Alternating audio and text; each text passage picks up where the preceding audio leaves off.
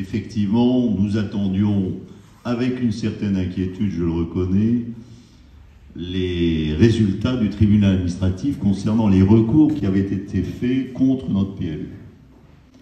Et à notre grande satisfaction, euh, le PLU est maintenu.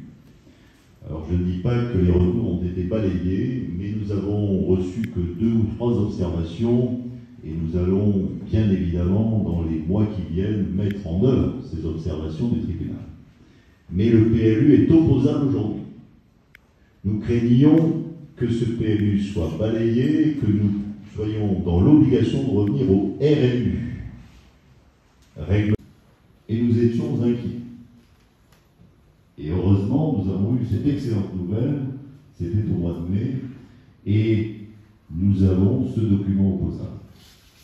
Alors bien sûr, ce document était imparfait. Pourquoi? Et M. le Président l'a dit tout à l'heure, parce que, en l'absence de SCOT, c'est-à-dire schéma de cohérence territoriale, qui est un, outil d'urbanisme à l'échelle du bassin d'Arcachon et du Val de l'Air, en absence de ce, de ce plan-là, nous sommes soumis à la validation du préfet.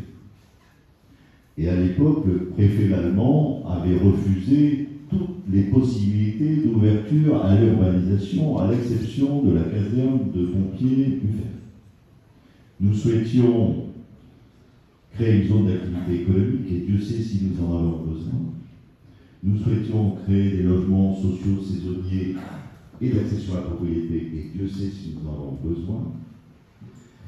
Et nous souhaitions également réviser parcelle par parcelle notre PL